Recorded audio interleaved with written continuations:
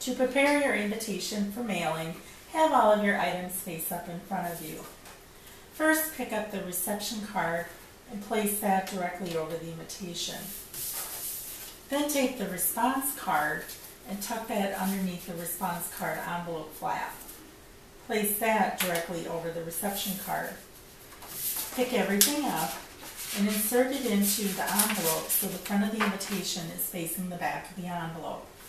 Close your flap, seal it, and you're ready for mailing.